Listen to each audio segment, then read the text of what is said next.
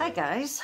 Um, this song is one that Marie Osmond did when she was 14 years old.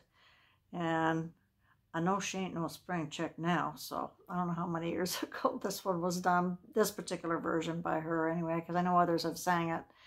Um, so anyway, we're going to give it a shot. To be 14 again, I, no, I take that back. Well, to be 14 and have all the knowledge that you have now to include all the people you met. Now, wouldn't that be something?